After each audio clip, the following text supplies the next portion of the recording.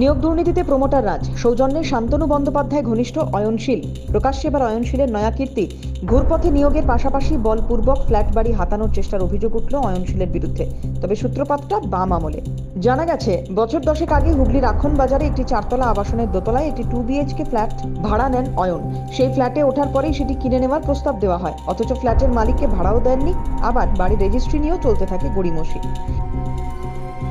আমার কাছে ভাড়া চাইছিল। তারপরে বলল কিনবো আমাকে কয়েকদিন ভাড়াটা দিন আমি আমি বললাম কি ভাড়া দেবো না আমি বিক্রি করে দেবো। এই পর্যন্ত। তারপর বলল একটু লেট করুন আমি টাকা দেবো। বাস এই লেট আমি দেবে বাস তারপর থেকে হাওয়া। টাকা দেয়নি। টাকা পয়সা এক পয়সা দেয়নি। এই অয়নের সূত্র ধরেই নাম উঠে আসছে গৌতম ঘোষ নামে এক ব্যক্তি। যিনি অয়নশীলের গাড়ির চালক হলেও যথেষ্ট ঘনিষ্ঠ ছিলেন বলে জানা গেছে। অয়নের দখল করা ফ্ল্যাট বাড়িতে গিয়ে গৌতম ঘোষ দরজা খোলার চেষ্টা করেন বলে অভিযোগ। না ও গৌতমকে পাঠিয়েছিল। আমরা এখানে ফুটানি করলে হবে না। তোমাকে যে বাবা পাঠিয়েছে যার নামে ঘর আছে তাকে পাঠাও।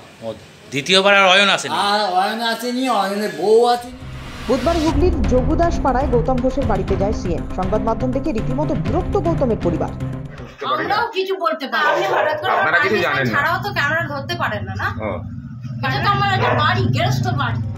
চাকরি নিয়োগ দুর্নীতিতে নাম জড়ানো অয়নের দৌড় এখানেই শেষ নয়। চাকরি দেওয়ার নামে এক ব্যক্তির থেকে দশ লক্ষ টাকা হাতানোর অভিযোগ উঠেছে।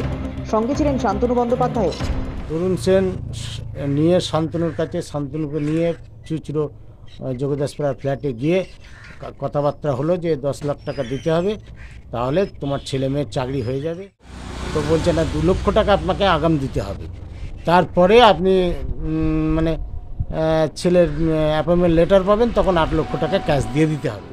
বিষয়টি আরও চাঞ্চল্যকর দিকে মোড় নেয়। প্রতারিত ব্যক্তির অভিযোগ তৎকালীন সময় বিধায়ক সাংসদ থানা এমনকি মুখ্যমন্ত্রীর কাছে চিঠি লিখে অভিযোগ জানানো হলেও কাজের কাজ কিচ্ছু হয়নি। দিয়ে তো চোদ্দ পনেরো ষোলো পার হয়ে গেল। কিছুই কিছুতেই কিছু হচ্ছে না। আমরা বহু জায়গায় ঘোরাঘুরি করেছি। হ্যাঁ তখন আঠারো উনিশ সাল থেকে আমরা প্রচুর ঘুরেছি। এ ধরুন আমাদের বলাগড়ের বিধায়ক অসীম মাঝিকে বলেছি। আচ্ছা তারপরে আমাদের এমপি রত্না দেনাথকে বলেছি।